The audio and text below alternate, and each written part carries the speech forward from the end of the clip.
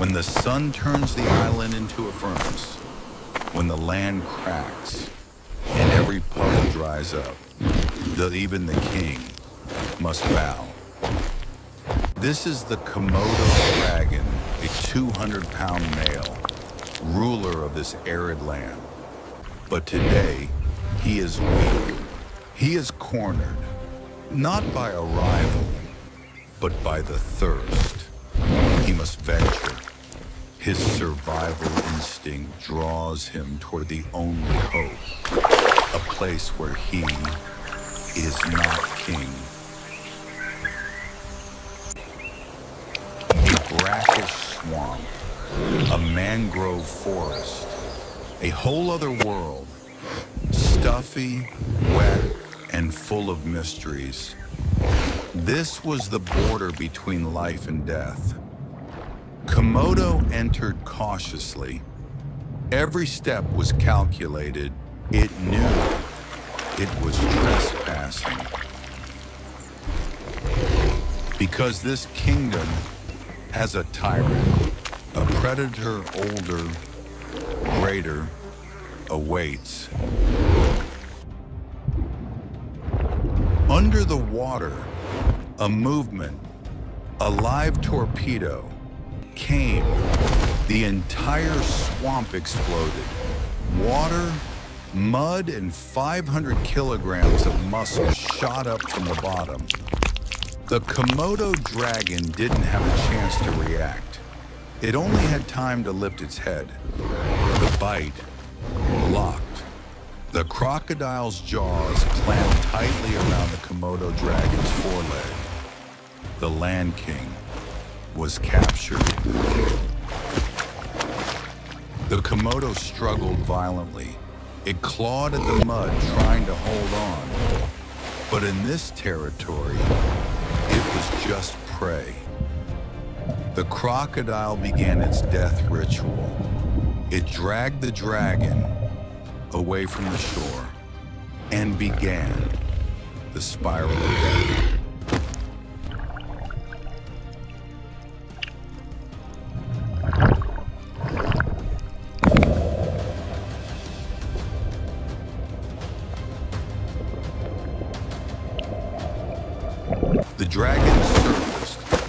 Just for a second, gasping for air. Desperate, the crocodile paused. It needed to recalibrate its grip. It loosened its jaws just for a millisecond, and that was a mistake. The Komodo dragon, using all its remaining strength, tried to bite back. It turned and sank its serrated teeth into the crocodile's snout. A defensive bite, but a fatal bite. A mixture of venom and bacteria had been injected.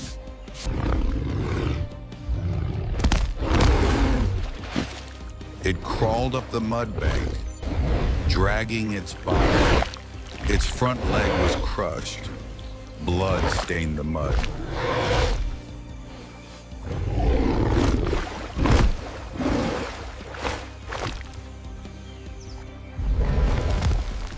The crocodile roared silently. It lunged again, but missed.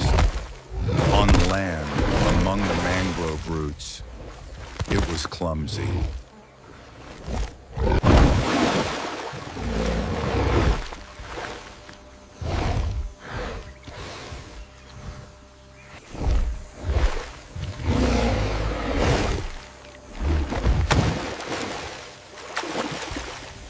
Two kings looked at each other.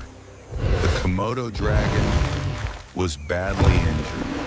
The saltwater crocodile was bitten. The battle was over. The Komodo dragon, exhausted, dragged itself away into the mangrove forest. It was the loser.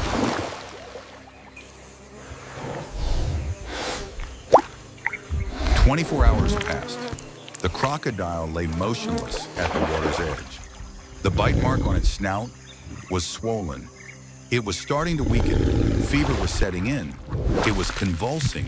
Its armored hide could block the bite, but its blood could not stop the Komodo's venom. The anticoagulant, the shock, was destroying the king of the marsh from the inside.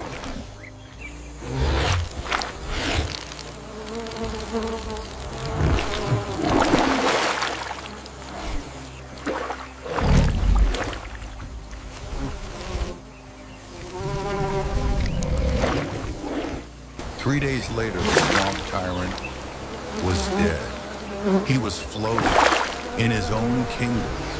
And then, from the darkness of the mangroves, the defeated returned.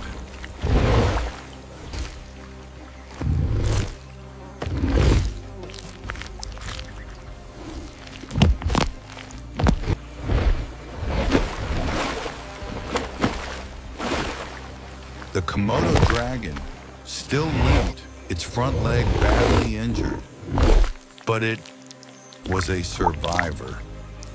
It approached the corpse of its enemy and began its feast, eating the very man who had nearly killed it.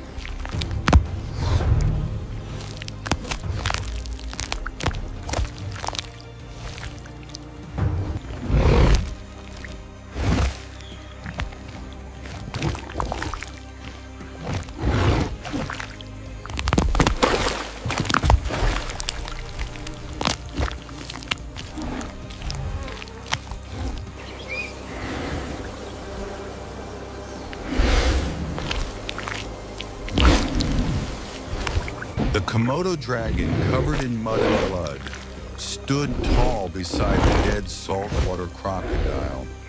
The eyes of the Komodo dragon, cold, patient, and victorious. The Komodo dragon, full of food, raised its head above the carcass of the saltwater crocodile.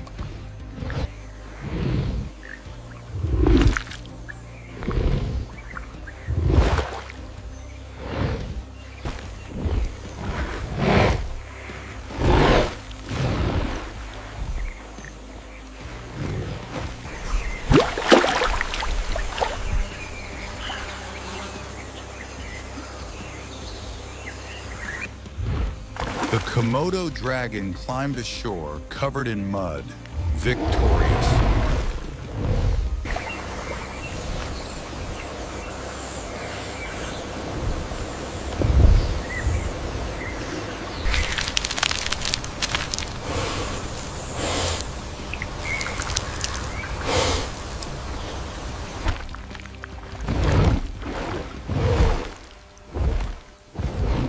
In the brutal war between two kings, brute force won the battle, but venom and patience won the war